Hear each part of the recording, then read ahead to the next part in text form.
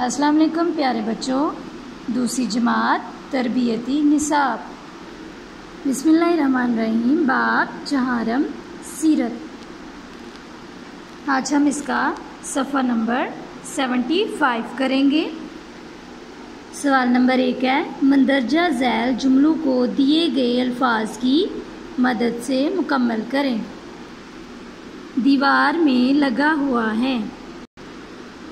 खाना काबा में दाखिल हुए। नेकी का काम समझता था। कोना पकड़ ले, जंग का खतरा ख़त्म हो गया। अब हम इन जुमलों की मदद से जुमले को मुकम्मल करेंगे। खाना काबा की तामीर को हर शख्स अपनी नेकी का काम समझता था, ठीक है? हिजरे असवद एक जन्नती पत्थर है जो हाना काबा की दीवार में लगा हुआ है। सबसे पहले हजूर सल्लल्लाहु अलैहि वसल्लम हाना काबा में दाखिल हुए।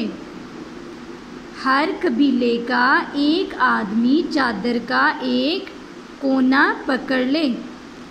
आप सल्लल्लाहु अलैहि वसल्लम की अक्लमंदी और उसने तदबीर से आपस की जंग का खतरा ख़त्म हो गया।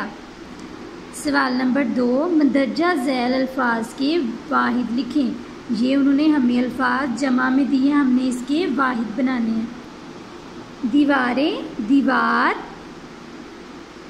तलवारें, तलवार, मस्जिदें, मस्जिद चादरें चादर।